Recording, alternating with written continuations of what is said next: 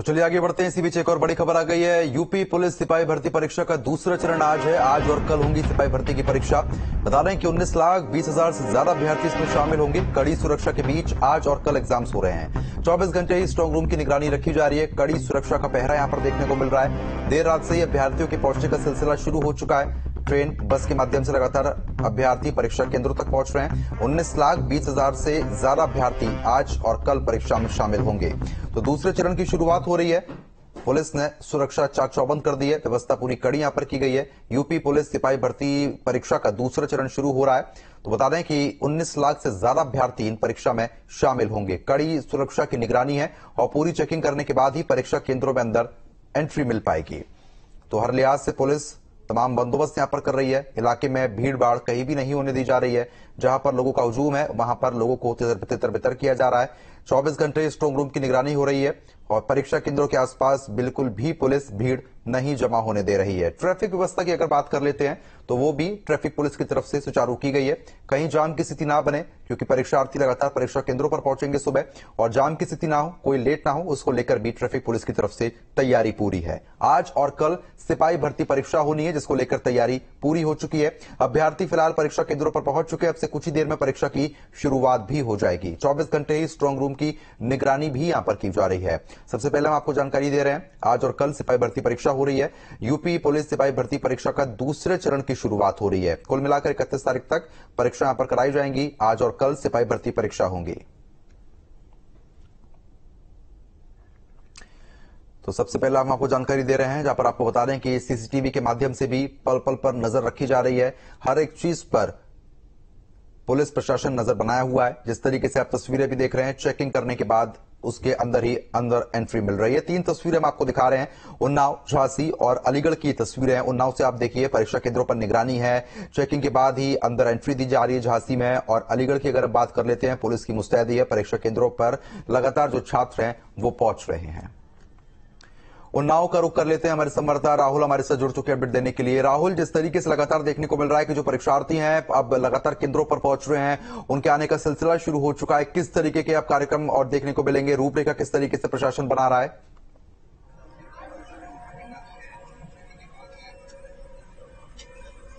जी, बिल्कुल बता दें कि उत्तर प्रदेश की पुलिस परीक्षा जो उसको पूरे परीक्षा पेपर लीक हुआ था तो ऐसे में उत्तर प्रदेश सरकार के लिए परीक्षा साख का सबब बन गई है। तो इस परीक्षा केंद्रों पे सुरक्षा के पुख्ता इंतज़ाम किए गए। यानी कि सबसे बड़ी परीक्षा और सबसे तगड़ी सुरक्षा। उन्नाव में नौ परीक्षा केंद्र बनाए गए हैं, जहाँ पर आज की परीक्षा, पहली पाली की परीक्षा में चार हज़ार से अधिक छात्र छात्राएँ पंजीकृत हो, अपने भविष्य की इबारत लिखेंगे। फ़िलहाल जो परीक्षा केंद्र है, वहाँ पे परीक्षार्थी अब प्रवेश कर चुके हैं, क्योंकि आधे घंटे बाद परीक्षा शुरू हो जाएगी। तो ऐसे में जो परीक्षार्थी है, जो कर चुके हैं और उनकी एंट्री के पहले उनको मेटल डिटेक्टर की चेकिंग से गुजरना पड़ा। इसके अलावा अगर आप मान्यता के अनुसार अगर आप हाथ में कलावा बांधे या कोई धागा डाले, वो तक परीक्षा केंद्र में एंट्री नहीं किया जा सकता यानी इससे अंदाज़ा लगा सकता है सकता है कि परीक्षा में कितना सघन सुरक्षा व्यवस्था के इंतज़ाम किए गए इसके अलावा एसटीएफ और एलआईयू का भी जो नौ परीक्षा केंद्र है, वहाँ पे सघन पहरा है और वही सीसीटीवी जो परीक्षा कक्ष वहाँ पे सीसीटीवी लगाए गए हैं। परीक्षा कक्षों में अगर कोई छात्र सर भी हिलाता है तो जो उन्नाव पुलिस लाइन में हाईटेक कंट्रोल रूम बनाए गए, वहाँ पे पल पल की मॉनिटरिंग यानी पल पल की गतिविधि कैमरों के माध्यम से वहाँ बैठे एक्सपर्ट देख रहे हैं। जिसके बाद अगर कोई वहाँ पे गतिविधि उनको संदिग्ध लगती है तो तुरंत परीक्षा केंद्र प्रभारी और स्टेटिक मजिस्ट्रेट से संपर्क कर वहाँ पे सुरक्षा का जायजा लेते हैं और वहाँ की जो होती दूर कराया जाता है। वही डीएम उन्नाव, गौरांग राठू एसपी सिद्धार्थ सिंह मीना लगातार परीक्षा केंद्रों का भ्रमण कर रहे हैं और सख्त निर्देश है जो स्टेटिक मजिस्ट्रेट है और जोनल मजिस्ट्रेट है, किसी भी तरह की चूक बर्दाश्त नहीं की जाएगी। कहने की सुरक्षा लिहाज से कड़े बंदोबस्त हैं। आप बने रहिए राहुल तुरंत आपके पास हम लौट रहे हैं। और इसी बीच गाजियाबाद से भी हमारे संवाददाता मानशु हमारे साथ जुड़ चुके हैं उनका भी रुख कर लेते हैं। और अमित हमारे साथ हमारे संवाददाता नोएडा से जुड़ चुके हैं। सबसे पहले हिमांशु जिस तरीके से लगातार आप चाक चौबंद व्यवस्था यहाँ पर देखने को मिल रही है परीक्षार्थी पहुँच चुके हैं। क्या ताज़ा अपडेट आपके पास है अभी? और बिल्कुल देखिए, जो पहली पाली के जो विद्यार्थी थे, वो सभी अंदर जा चुके हैं अभ्यर्थी और उसके बाद गेट को बंद कर दिया गया है, क्योंकि 9:30 वो समय रहता है। उससे पहले ही सभी को पहुँचना होता है, अपने रूम के अंदर बैठना होता है, सारी व्यवस्था करनी होती है। तस्वीरें आप देखेंगे तो पुलिस के जो कर्मी है, वो यहाँ पर तैनात हैं और लगातार जो बच्चों को अंदर एंट्री दी जाती है चेकिंग के बाद ही दी जाती है। पहले भी जो तारीख पड़ी थी तेईस, चौबीस, पच्चीस। इन तीन तारीख को एग्ज़ाम था, इसके बाद आज तीस तारीख है, आज एग्ज़ाम है। तो ऐसे में गाजियाबाद में बीस सेंटर बनाए गए हैं और बीस सेंटर पर आठ जो अभ्यर्थी हैं, उनकी परीक्षा होनी है और उसको लेकर सीसीटीवी कैमरे जहाँ पर वो कमरों में बैठे हैं, उनकी मॉनिटरिंग की जा रही है, कंट्रोल रूम बनाया गया है। खुद गाजियाबाद पुलिस कमिश्नर से लेकर जो जिला प्रशासन अधिकारी हैं, वो नज़र बनाए हुए हैं, नकल वहीन परीक्षा हो, क्योंकि यूपी सरकार इस बार पूरी तरह से प्रतिबद्ध है कि किसी भी तरह से जो सॉल्वर गैंग है, उनका इन्वॉल्वमेंट ना हो और साथ ही जो अभ्यर्थी है, वो भी किसी तरह की कोई नकल ना कर पाए। तो इस बार पूरा ज़ोर दिया जा रहा है कि नकल वहीन परीक्षा ये संपन्न हो। साठ हज़ार जो यूपी पुलिस कांस्टेबल की भर्तियाँ हैं, ये सही तरीके से हो और जो नौजवान हैं, जो चाहते हैं, यूपी पुलिस कांस्टेबल में हिस्सा लेना वो हिस्सा ले सकें और अच्छी तरह से ये जो चल रही है भर्तियाँ ये कंप्लीट हो पाए। तो ऐसे में इंतज़ाम पूरे हैं। पहली पाली की जो अंदर एंट्री है वो हो चुकी है। दूसरी पाली तीन बजे से शुरू होती है पाँच बजे तक रहती है। तो अंदर बच्चे जा चुके हैं। कुछ बच्चे ज़रूर यहाँ पर आए हुए हैं। मैं चाहूँगा विजय से थोड़ा पैन करके आपको दिखाएँ। जैसे ये युवक खड़े हैं और दूसरी तरफ़ कुछ युवक खड़े हैं तो वो दूसरी पाली का इंतज़ार कर रहे हैं। वहाँ पेड़ के नीचे बैठे हुए अभ्यर्थी आपको दूसरी पाली की नज़र आ जाएँगे जो वहाँ पर पेड़ के नीचे अपनी दूसरी पाली का इंतज़ार कर रहे हैं। हालाँकि रोडवेज़ के लिए भी पहले से ही दिशा निर्देश जारी कर दिए गए थे जो दूर दराज से जिनके सेंटर यहाँ पर पड़े हुए हैं गाजियाबाद में उनके लिए रोडवेज़ सेवा पूरी तरह से फ्री कर दी गई है। यानी चौबीस घंटे पहले से लेकर 24 घंटे बाद चलिए ठीक है मैं लौटता हूँ आपके पास हिमांशु बने रही है अमित लगातार बने हुए हैं और श्याम भी हमारे साथ जुड़ चुके हैं कानपुर से। अमित नोएडा का हाल अभी क्या देखने को मिल रहा है? क्योंकि परीक्षार्थी काफ़ी बड़ी संख्या में नोएडा में भी पेपर देने पहुँच रहे हैं। सेंटर्स पर लगातार भीड़ देखने को मिली थी। क्या ताज़ा अपडेट है अभी?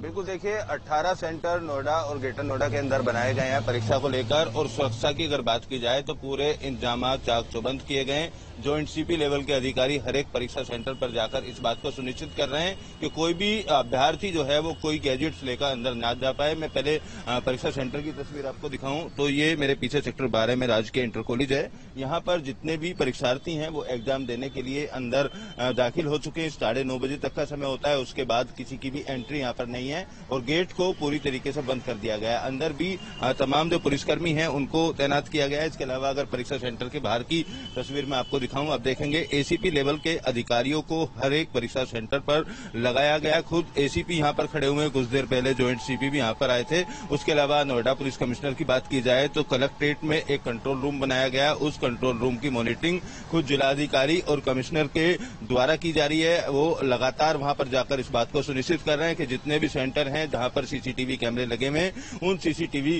कैमरों की मदद से इस बात को सुनिश्चित किया जा रहा है कि परीक्षा सेंटर के अंदर किसी भी तरीके की गड़बड़ी ना हो और उसी को लेकर तमाम जो तैयारियाँ हैं, वो पहले से दुरुस्त कर ली गई थी। पहले तीन दिन का एग्ज़ाम जो था, वो हो चुका है। आज चौथा एग्ज़ाम है। इसके बाद एक एग्ज़ाम और होगा, जिस तरीके से उत्तर प्रदेश सरकार ने नया कानून बनाया था कि अगर परीक्षा के अंदर कोई गड़बड़ी फैलाता है तो उम्र कैद तक की सजा देने का प्रावधान अब उत्तर प्रदेश में है। तो ऐसे में संख्या काफ़ी कम इस बार परीक्षार्थियों की रही। अगर पिछले तीन दिनों की बात की जाए तो 50 परसेंट के आसपास जो परीक्षार्थी हैं वो एग्ज़ाम देने के लिए पहुँचे और आज के एग्ज़ाम में भी संख्या सेंट परसेंट नहीं है। आज भी 40 से 45 परसेंट जो परीक्षार्थी हैं, वो कम पहुँचे। इस सेंटर पर भी 45 परसेंट के आसपास जो परीक्षार्थी हैं, वो कम पहुँचे हैं। लेकिन जो भी परीक्षार्थी एग्ज़ाम देने के लिए अंदर जा रहे हैं, उनको पूरी तरीके से चेक किया जा रहा है। तीन लेयर की सुरक्षा है। मेरे पीछे मैं कहूँगा, विजय से देखेंगे बैरिकेटिंग है। इस बैरिकेटिंग को यहाँ पर लगाया गया है। इस बैरिकेटिंग के आगे किसी भी परीक्षार्थी के परिजन को अंदर दाखिल नहीं होने दिया जाता है और इसके आगे की अगर मैं पूरी सर्विस रोड की तस्वीर दिखाऊँ तो 500 मीटर दूर तक तमाम बिल्कुल कहीं ना कहीं सुरक्षा लिहाज से कड़े बंदोबस्त अमित यहाँ पर देखने को मिल रहे हैं। दोबारा भी आपके पास लौटेंगे कानपुर का भी रुख कर लेते हैं। श्याम लगातार हमारे साथ बने हुए हैं। श्याम जिस तरीके से हमने तमाम जगह से जानकारी ली तमाम सुरक्षा व्यवस्था के कड़े बंदोबस्त देखने को मिल रहा है। कानपुर की अगर बात करते हैं क्या व्यवस्था?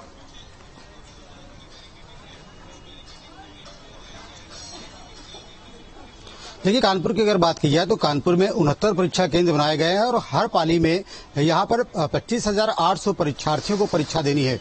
तमाम सिक्योरिटी के बाद परीक्षार्थियों को अंदर जाने दिया जा रहा है। कानपुर में त्रिस्तरीय चेकिंग करने के बाद परीक्षार्थियों को अंदर जाने की अनुमति दी जा रही है। सबसे पहले परीक्षार्थी जब यहाँ पर आता है तो उसके जूते उतरवा दिए जाते हैं, बेल्ट उतरवा दी जाती है। इसके अलावा अगर उसने हाथ में कलावा या राखी बाँध रखी है, उसको कटवा दिया जाता है। अगर उसके गले में लॉकेट पहन रखा है तो लॉकेट उतरवाया जाता है। उसके बाद आपको बता दें कि उसकी दो आइडेंटिटी चेक की जाती है, साथ साथ ही साथ मेटल डिटेक्टर से चेक किया जाता है और उसके बाद आखिरी स्टेप पर उसकी बायोमेट्रिक की जाती है। बायोमेट्रिक पे जब सुनिश्चित हो जाता है कि जो शख्स परीक्षा देने जा रहा है, वही शख्स वो है, तब उसे एंट्री दी जाती है। यही वजह है कि जो परीक्षा तीन दिनों तक हुई, छह पालियों में परीक्षा हुई, इसमें कोई बहुत बड़ी धांधली की शिकायत सामने नहीं आई। कानपुर में दो तीन मामले ज़रूर सामने आए, जिसमें एक मुन्ना भाई पकड़ा गया, वहीं एक शख्स जो अपने परीक्षा का जो प्रवेश पत्र है, उसमें कुछ लिख करके लाया था और उससे नकल करने का प्रयास कर रहा था।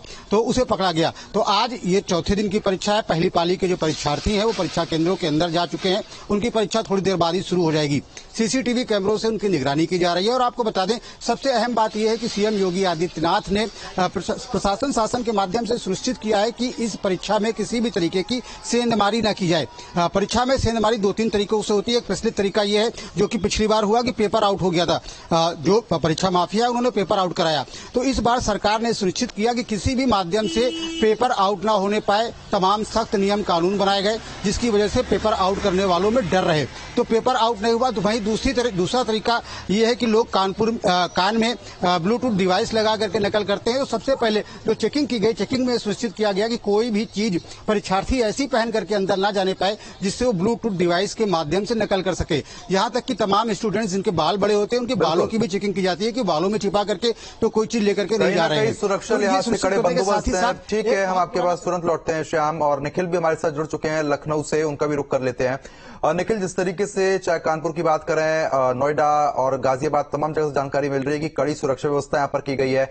जो परीक्षार्थी पहुँच रहे हैं उनको किसी तरीके की कोई असुविधा तो नहीं हो रही है? देखिए ये परीक्षा खाली परीक्षार्थियों की नहीं है सरकार की भी है और प्रशासन की भी परीक्षा है।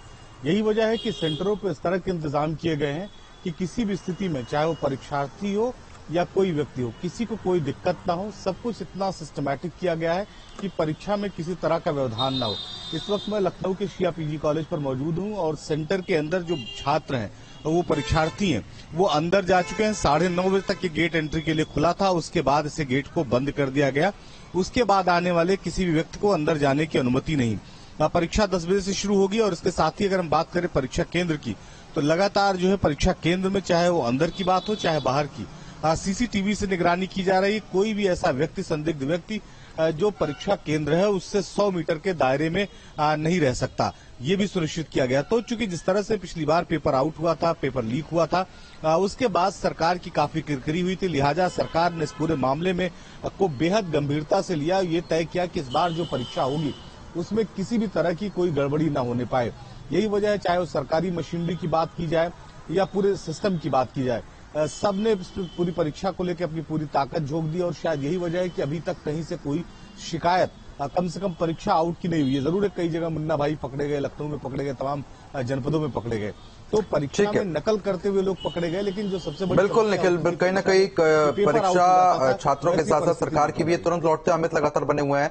अमित जिस तरीके से हम आपके पीछे भी देख रहे हैं कि कई वरिष्ठ अधिकारी की मौजूदगी भी है और जो छात्र हैं वो फ़िलहाल परीक्षा केंद्रों में ज़रूर अंदर दाखिल हो चुके हैं। और ताज़ा अपडेट क्या मिल पा रही है? दूसरी पाली के लिए भी क्या कुछ व्यवस्था की जाएगी?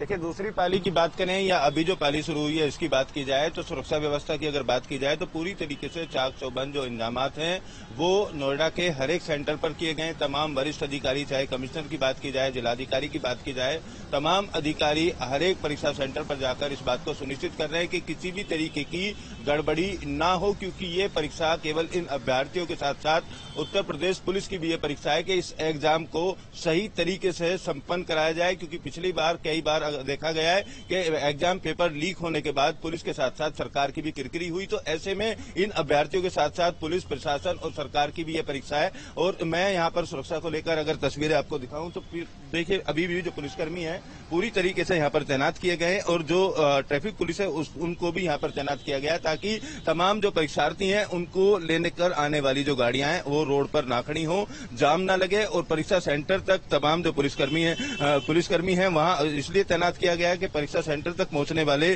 जो भी अभ्यर्थी हैं वो जाम में ना फंसे। यूपी रोडवेज़ की अगर बात की जाए तो परीक्षार्थियों के लिए यूपी रोडवेज़ को फ्री किया गया है ताकि आसानी से वो लोग अपने सेंटर तक पहुँच पाए। जितने भी एग्ज़ाम सेंटर हैं उन तमाम एग्ज़ाम सेंटर पर ड्रोन कैमरे से भी नज़र रखी जा रही बिल्कुल है। कहना कि ड्रोन के माध्यम से भी नज़र रखी जा रही है और पूरी सुरक्षा व्यवस्था है। फ़िलहाल आप सभी का बहुत बहुत शुक्रिया। तमाम जानकारी हमारे साथ साझा करने के लिए खबर पर आप नज़र बनाए रखिएगा। आगे भी लगातार हम लोग आपसे अपडेट लेंगे।